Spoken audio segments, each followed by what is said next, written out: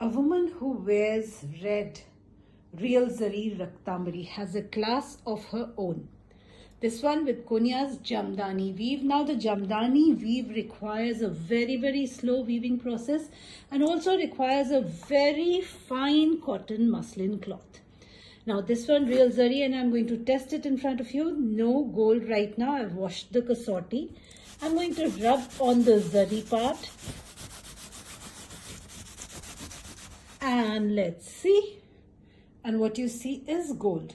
Also, if I rub it, now here it's clean. If I rub it on any of this with the kasoti let's see the result and it is gold. Now this one, real zari, raktambari, a lovely shade of red. The blouse would be plain with the zari border.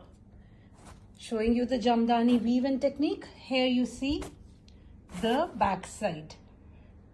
You cannot even make out the front and the back side of the Jamdani weave.